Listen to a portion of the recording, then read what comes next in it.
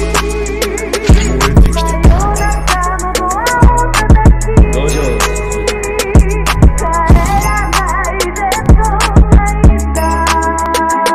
teman-teman, jadi di video kita kali ini kita akan ngebahas update 13 ya.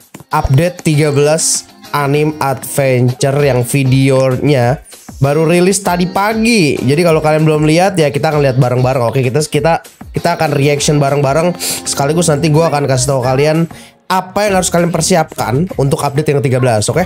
Ya kita kita sekarang langsung lihat videonya aja yuk. Let's go.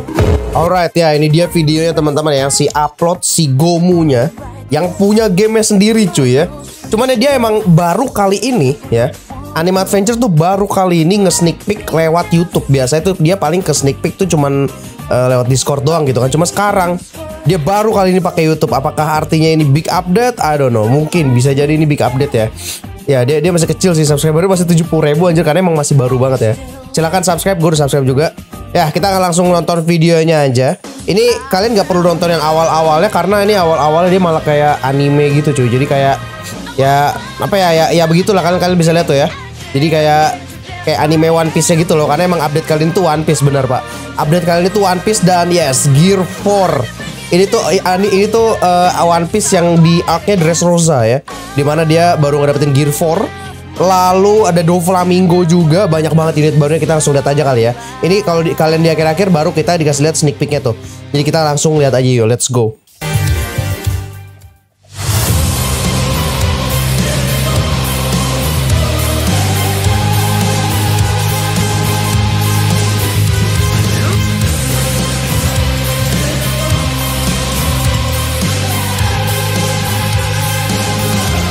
Anjir gila banyak banget unit kalian bisa lihat teman-teman ya. Ini gue pengen gue pengen agak lamain ya playback speednya kita lamain deh kita ke 0,5 kita lihat aja uh, unit-unitnya apa aja teman-teman ya. Dari tadi gue lihat sih kayaknya ada 5 ada 5 sampai 6 unit 5 kayaknya sih. Bentar. Yang pertama ini kan Luffy kan? Ya. Yang pertama ini Luffy. Ini kita nggak usah pakai suara ya. Yang pertama ini Luffy. Ya jelas ya. Di Luffy Gear 4 lalu ada Doflamingo dengan ini gatretnya dia nih. Uh, gila Gatret itu keren banget, Cuk. Lalu ada Lau juga. Wah, ini Lau pasti AOE gak sih Lau ini? Cuman benar ya dari gue liat kayaknya dia awal-awal bukan AOE sih. Tapi harusnya Lau itu AOE teman-teman ya karena dia room gitu kan. Harusnya sih full AOE, tapi kalau yang dari gue liat sekarang nih kalian bisa lihat dia roomnya malah di depan, Pak. Ini bisa bisa jadi dia dia circle AOE doang sih, bisa jadi ya. Dia kayak circle AOE doang. Tuh kayak gitu pakai gamma knife ya. Lalu ada Fujitora, udah tiga karakter, udah empat karakter tuh ya. Ada enam berarti. Ada ada Fujitora juga. Eh, uh, gua nggak tahu nih. Ada Sabo. Lalu ada Usop ya. Ada Sabo, ada Usop. Ini Sabonya cepet banget sih. Sabonya cepet banget, kayak cuman lewat doang gitu Sabo. Tuh. Cuman Sabo, Sabo tuh cuman kayak lewat doang, Pak ya. Lalu ada Usop ya, gila nih Usop kayaknya sih ini hybrid nih apa unit hybrid di update kali ini kayaknya Usop nih. Ya antara Usop kalau enggak uh, Doflamingo. Karena Doflamingo kan ya dia bisa terbang juga kan. Jadi make sense lah kalau dia bisa nyerang nyerang air gitu kan. Lalu nah itu kalian bisa lihat tadi barusan Doflamingo dia ada kayak ada ada kayak udah dikasih tau dua animasi ya. Yang pertama tadi Gatret kalian bisa lihat nih ini yang pertama ini Gatretnya dia. Nih ini Gotretnya dia ya ini kayaknya sih, ini kayaknya Circle EOE sih. Ya, ini bisa jadi Circle EOE sih. Lalu tadi ada satu lagi serangan Doflamingo yang dia pakai uh, sangkar itu loh. Bird catch itu loh. Kalian kalian bisa lihat nih ya. Nah, tuh tuh tuh tuh. tuh. Kalian bisa lihat barusan dia pakai bird catch nih. Bisa gua lambanin lagi gak sih? Buset dah. Nih, kita kita kita 0,25 ya. Nih, kalian bisa lihat. Nah, tuh. Kalian bisa lihat itu itu bird catch ya. Gua nggak tahu apakah itu ntar bakal jadi AOE atau itu akan jadi yang lurus ke depan gitu cuy? Karena kalau kita lihat dari efek serangan ya dia kayaknya lurus ke depan tuh. Ya kan? Bisa jadi sih ini kayak yang yang AOE tapi yang yang yang yang lurus itu yang lain AOE kalian tahu kan? Bisa jadi ya. Lalu ini Luffy juga. Luffy juga udah dikasih tau dua animasi. Yang pertama tadi Gatling Gun ya. Yang kedua ini King Kong Gun. Kalian bisa lihat ya. Ini Kong Gun.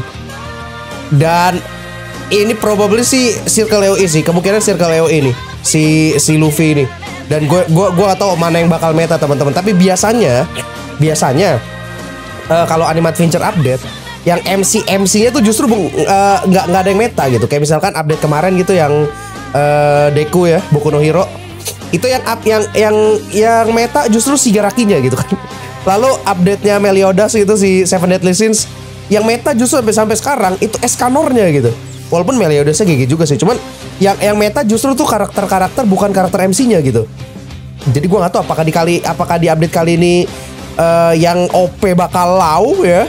Tak sumpah sumpah modelnya kalau modelnya si Low keren banget sih. Kalian bisa lihat ya.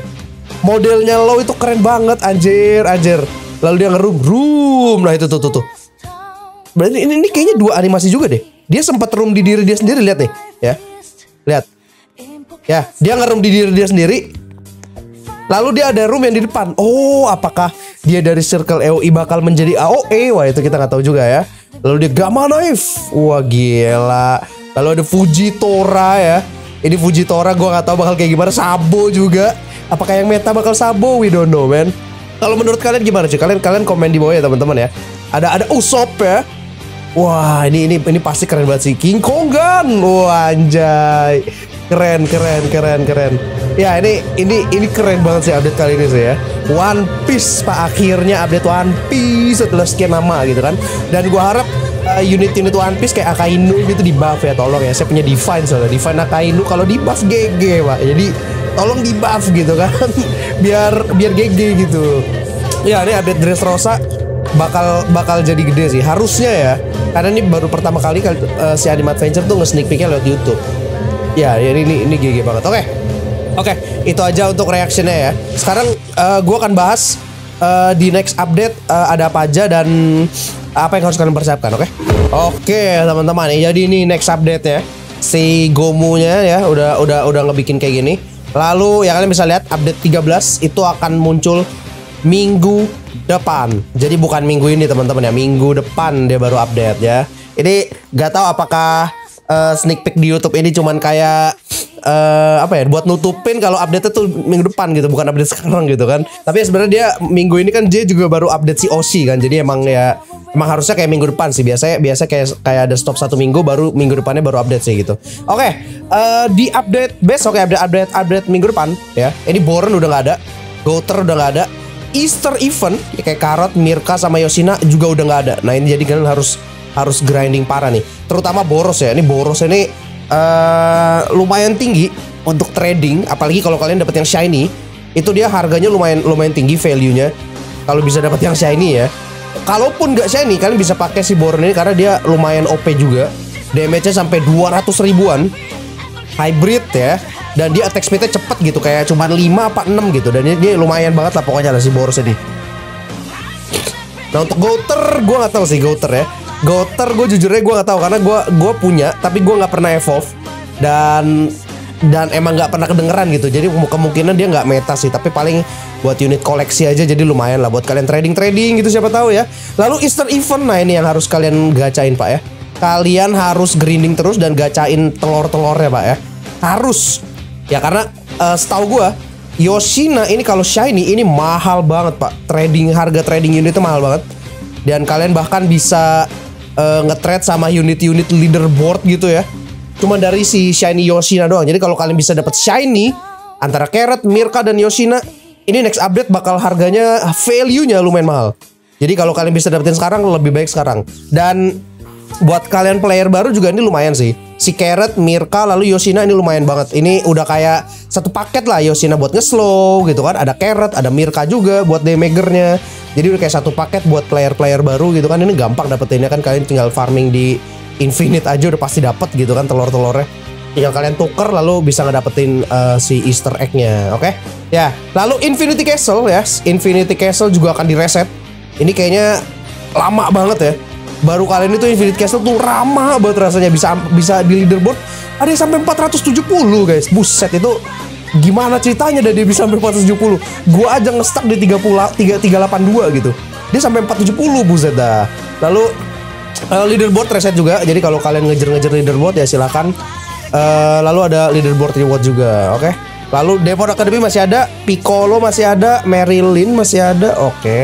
si Marilyn masih ada ya gua aja belum dapat Marilyn loh Daki juga masih ada. Alright ya. Pokoknya uh, di update 13 boros kalian harus dapat.